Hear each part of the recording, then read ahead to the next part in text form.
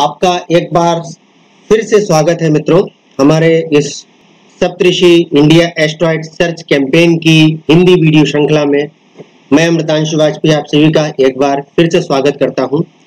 तो जैसे पिछली बार हम सभी लोगों ने पिछले वीडियो में एक चीज़ देखी थी कि किस तरीके से ब्लिंकिंग फैसिलिटी का यूज़ करके हम लोग ऑब्जेक्ट्स को नामकरण दे करके अपनी एमपीसी रिपोर्ट में शामिल करते हैं। एमपीसी रिपोर्ट में शामिल करने के लिए हमने कुछ, आप सभी के सामने कुछ शर्तों का विवरण भी दिया था कि सात अंकों का जो ऑब्जेक्ट है, उसको हम लोग केवल एनालाइज करेंगे, नाम नहीं देंगे। अपना जो नाम है, वही चलता रहेगा। जो पाँच अंकों का, जो पाँच वर्णों का जो ऑब्जेक्ट है, उसको भी हम अपना नाम नहीं देंगे। जो नाम है, वही चलता रहेगा। उनके सात वर्णों और पाँच वर्णों को नाम ना देने के अपने तकनीकी कारण हैं, जिनके बारे में बृहद चर्चा आगे की जा सकती है। साथ ही साथ हम अपनी टीम का नाम अगर किसी ऑब्जेक्ट को देंगे तो वो वह होगा जो अभी तक अज्ञात है अननोन है। तो उन सभी तरीके के ऑब्जेक्ट्स को हम लोग किस तरीके से कंफर्म करेंगे तो उसके लिए तीन शर्तें थी कि ऑब्जेक्ट का मूवमेंट जो है वो एक सीधी रेखा में स्ट्रेट लाइन में होना चाहिए, उसकी स्पीड कांस्टेंट होनी चाहिए उसका मैग्नीट्यूड भी कांस्टेंट होना चाहिए। अर्थात चमक जो है, जिस गति से वो चमक रहा है, जो उसकी दर है चमकने की, वो एक लगभग लगभग कांस्टेंट होनी चाहिए, एक एक समान होनी चाहिए। तो अब उसको एस्ट्रोमेट्रिका सॉफ्टवेयर में इन सभी चीज़ों को एनालाइज करने के लिए हम लोगों ने क्या किया? हम लोगों ने एस की वैल्यूज़ देखी सिग्नल नॉइज़ रेशियो जो कि पाँच से ज़्यादा होना चाहिए। और ये भी देखा कि यह हार्ड एंड फास्ट नियम नहीं है। कभी कभी पाँच के निकट अगर कोई संख्या है तो हम लोग उसको राउंड ऑफ़ करके पाँच बना सके हैं तो वह भी एक्सेप्टेबल है। दूसरे नंबर पे हम लोगों ने कैपिटल आर जो कि मैग्नीट्यूड की वैल्यू है, उसको भी देखा और यह भी कहा कि इसका वेरिएशन चारों इमेजेस में एक से ज़्यादा नहीं होना चाहिए। वन के ज़्यादा वेरिएशन मैग्नीट्यूड का नॉट अलाउड है। तीसरे नंबर पे हम लोगों ने पॉइंट स्प्रेड फ़ंक्शन की बात करी पीएसएफ की बात करी, जो कि ज़्यादा हम लोग उसके अंदर नहीं गए। लेकिन ग्राफ्स को देखने के लिए कहा, और ग्राफ्स जो है, मैंने कहा कि जो व्हाइट डॉट्स हैं ऑब्जेक्ट्स के जब इमेज बन रही है तो वो एक रेड बैंड के आसपास होने चाहिए। यानी ज़्यादा छितरी हुई या ज़्यादा फैली हुई इमेज नहीं होनी चाहिए वेल रिजॉल्व होना चाहिए। तो इन सब चीज़ों के बाद हम लोगों ने कहा कि अगर कुछ ऐसे ऑब्जेक्ट्स आते हैं कि जो कि इन पर खड़े उतरते हैं तो वो हमारे एमपीसी रिपोर्ट का हिस्सा बन जाएँगे। जो फेलियर होते हैं, जो कि इन गुणों पर खड़े नहीं उतरते हैं, इन परिमाण पर खड़े नहीं उतरते हैं, उनको हम लोग रिजेक्ट कर देंगे।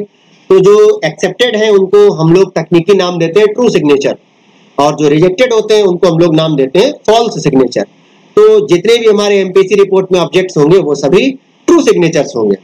तो अब हमने कहा था कि पिछली बार, कि अगली बार हम लोग अगले वीडियो में चर्चा करेंगे कि किस तरीके से जो एमपीसी रिपोर्ट हमारी एस्ट्रोमेट्रिका में बनी है वो एमपीसी रिपोर्ट हम लोग अपने इस टीम के पेज पर, सप्तऋषि के पेज पर कैसे जमा करेंगे, कैसे सबमिट करेंगे। लेकिन उससे पहले एक चीज़ और भी अत्यधिक आवश्यक है, जो कि आप लोगों को जानना बहुत ज़रूरी है। पिछली बार मैंने जब ये पोर्टल आपको दिखाया था तो यहाँ पर कुछ वैज्ञानिकों के सिटीजन साइंटिस्ट के नाम जुड़े थे, लेकिन अब की मैंने उनको बिगाड़ दिया है। उनको बिगाड़ने का एक बहुत मूलभूत कारण है कि आपको पता होना चाहिए कि इन वैज्ञानिकों के नाम या आपके टीम मेंबर्स के नाम यहाँ पर जोड़े कैसे जाएँगे? क्या उसका कोई नियम है? बिल्कुल इनका एक नियम है। एक कुछ नियमों का इसमें श्रृंखला है जिसपे जिसको आपको फॉलो करना ही करना है। अन्यथा आप जो है उसमें सिटीजन साइंटिस्ट के नाम नहीं जोड़ सकते। या कुछ ना कुछ एरर हो जाएगा। तो सबसे पहले आप ये जो रेक्टेंगल अपनी तरफ़ देख रहे हैं तो इस रेक्टेंगल में आप क्लिक करेंगे, आप नीचे आएँगे तो आप, यहाँ रेक्टेंगल आपको मिलेगा। आप इसमें क्लिक करेंगे, मैं चाहता हूँ सिलेक्ट इमेज सेट हो जाए, ताकि बिल्कुल नॉर्मल हर चीज़ रहे। इस रेक्टेंगल पर क्लिक किया फ़र्ज़ कीजिए कि जैसे आपको किसी का नाम जोड़ना है। उदाहरण तौर पर मेरा खुद का ही नाम अमृतांशु वाजपेयी है। तो अगर मैं यहाँ पर अमृतांशु वाजपेयी नाम को जोड़ूँगा तो यहाँ पे अमृतांशु वाजपेयी मैं अगर पूरा नाम लिख दूँगा A M R I T A N S H U ये मेरे नाम की स्पेलिंग है B A J P A Y double E तो अगर अब मैं इस पे देखिए क्या चेंज होता है। एट सिटीजन साइंटिस्ट करूँगा तो आप देखिए कि अमृतांशु का सारी स्पेलिंग कॉन्ट्रैक्ट होकर के ए डॉट वाजपेयी हो गई। तो कहने का मतलब यह है कि आप जो है, जो आपका फ़र्स्ट नेम है, या तो आप उसका फ़र्स्ट नेम का प्रथम अक्षर ले लें और पूरा सरनेम ले लें या पूरा मिडिल नेम ले लें या फिर आप एक दूसरा काम कर सकते हैं। आप अपने लास्ट नेम का फ़र्स्ट लेटर ले लीजिए और बाकी अपना पूरा प्रथम नाम रख सकते हैं, जैसे V dot Amritanshu V dot Amritanshu को अगर आप करेंगे तो यह आपको यहाँ पे दिख जाएगा और टिक लगा हुआ दिखेगा। आप टिक हटा सकते हैं थोड़ी देर के लिए। मेरे दूसरे दोस्त हैं सुमित कुमार श्रीवास्तव। तो अब अगर मैं जैसे उनका नाम टाइप करता हूँ, सुमित कुमार श्रीवास्तव। और इस पे मैं सिटीजन साइंटिस्ट में ऐड करता हूँ तो आप देखिए एस डॉट श्रीवास्तव आ जाएगा। यानी अगर आपका मिडिल नेम है तो वो भी चला जाएगा। मध्य नाम भी जो है इसमें नहीं रहेगा। तो उसको ऐड करने का एक तरीका ये है कि आप चाहें तो एस श्रीवास्तव का एस मैंने ले लिया डॉट लगाने के बाद उसको स्पेस दिया और मैंने बिना स्पेस दिए सुमित का एस कैपिटल करके, कुमार का के कैपिटल कर दिया मैंने। सुमित कुमार, मैं लिख करके आप सभी के सामने सिटीजन साइंटिस्ट के तौर पर इसमें जोड़ देता हूँ। तो यह तो बात रही सिटीजन साइंटिस्ट के नाम को जोड़ने की। अब बात आती है कि मान लीजिए कि आपसे कोई गलत नाम ऐड हो गया।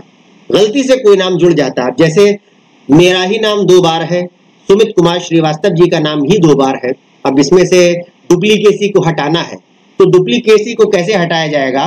तो दोबारा जब आप लॉगिन करेंगे तो उसको लॉगिन का स्वरूप दिखाने के लिए मैं आपके सामने रिफ्रेश कर देता हूँ। तो कुछ इस तरीके से आपको सिटीजन साइंटिस्ट जो पहले से जुड़े हुए हैं, वे नज़र आएँगे।